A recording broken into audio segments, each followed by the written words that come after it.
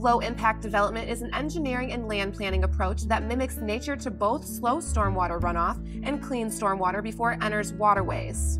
LID brings benefits in reducing infrastructure cost, increasing lot yield, reducing life cycle costs, increasing marketability and property values. LID is simple, economical, and effective. LID seeks to better integrate the built environment with the natural environment. For more information on LID, visit meridian.mi.us.